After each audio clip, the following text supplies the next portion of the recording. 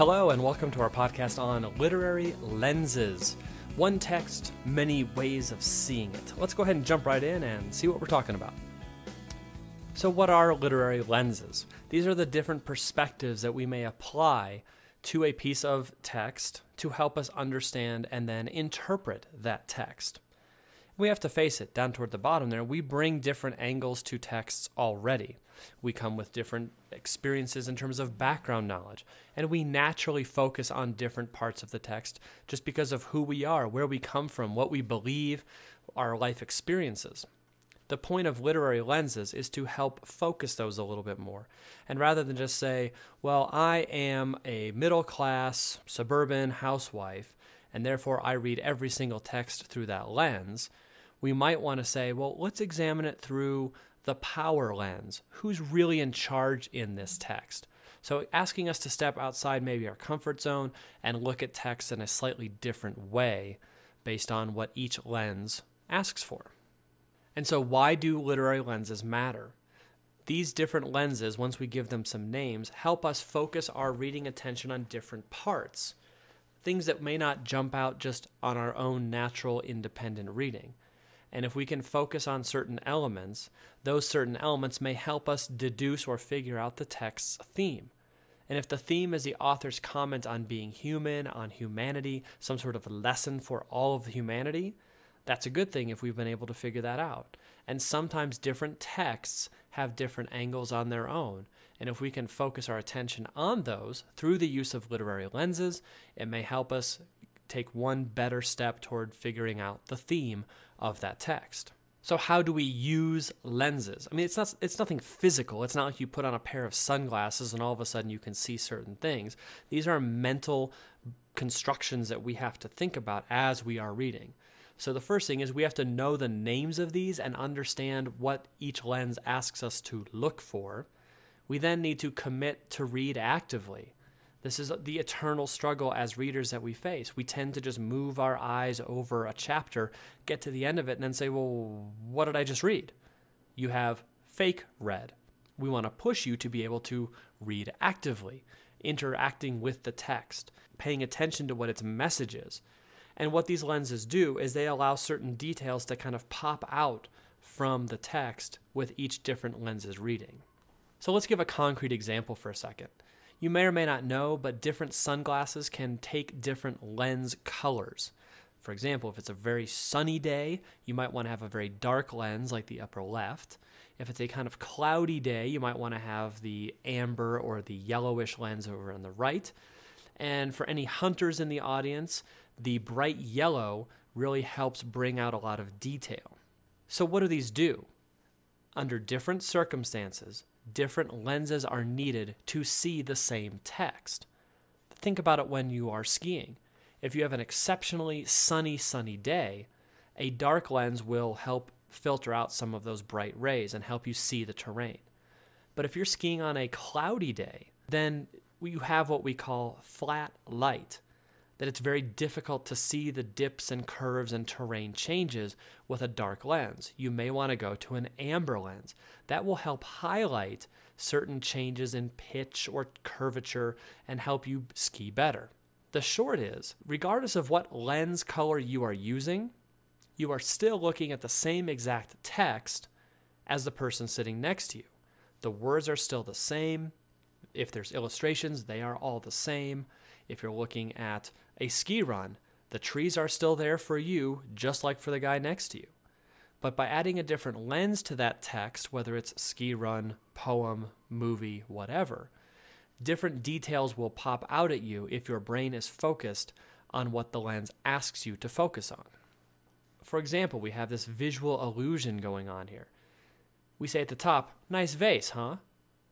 Well, if you're looking at it and your brain focuses on the black section, then yes, it looks completely like a vase. But if you're able to step back and change your brain's focus to the white portion, it almost looks as if there are two faces staring at each other. And those two faces serve as the space around the black section, which looks like a vase.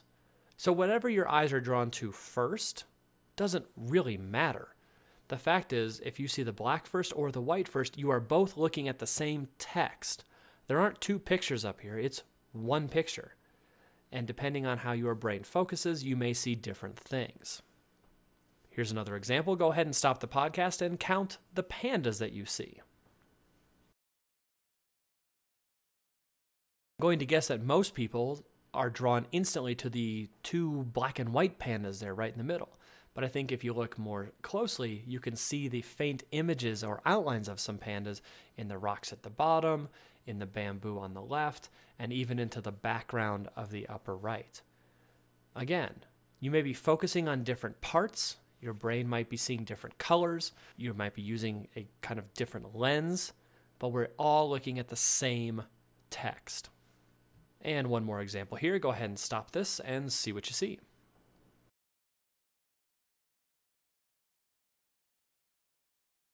So, what's the point? Let's go back to literary lenses. Let's go back to the English class thing. Do we all see literature or any other text the same way? And of course, we don't. We all come with different life experiences, different sets of background knowledge, different languages, socioeconomic status, different histories. Therefore, we are naturally drawn to certain parts of a text. What we're asking you to do with these literary lenses that we'll show you in a minute is to focus on other aspects. You may naturally always tend to focus on certain things. We're just asking you to be able to focus on not only that naturally, but a couple others that will bring out different highlights of the text based on the lens. So, these are the five literary lenses that we will be studying in this English class. If you truly want to get into this and take way more deep classes and go on to college and major in English, you can study a wide variety of other lenses. We're going to focus on these ones to keep it simple. Let's go ahead and look at each one in a little bit more depth.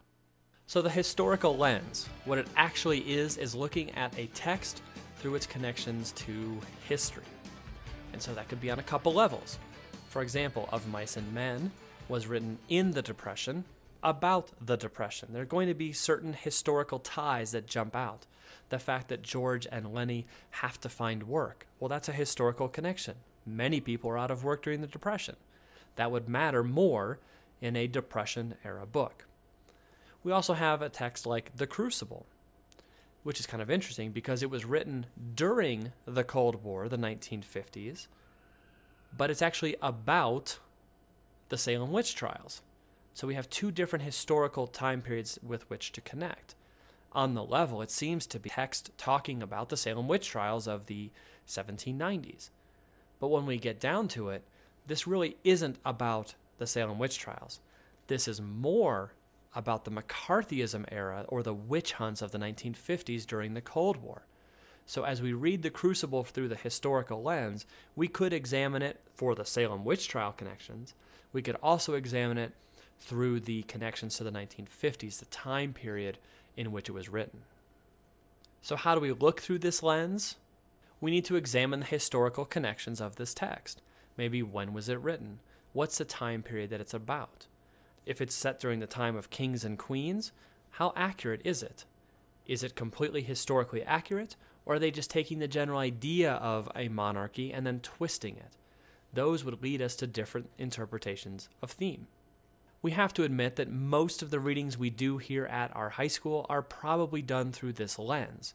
Since we have the freshman integrated course and then the sophomore integrated course that's paired with world history and world literature, most times you're going to be reading pieces through that historic lens just naturally. If you're going to be studying ancient Greece, you're going to be reading the Odyssey.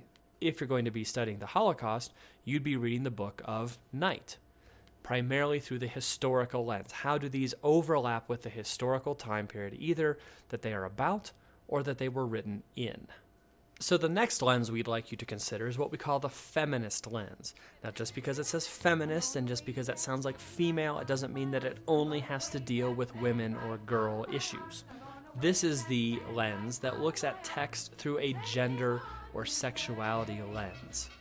And so, yes, on the level, it's going to examine the relationships between males and females, males and males, females and females, stereotypical gender roles and how those are expressed in the text. But that doesn't just mean that we only look at the girl end of things. We're definitely going to be looking at male stereotypes and gender roles as well.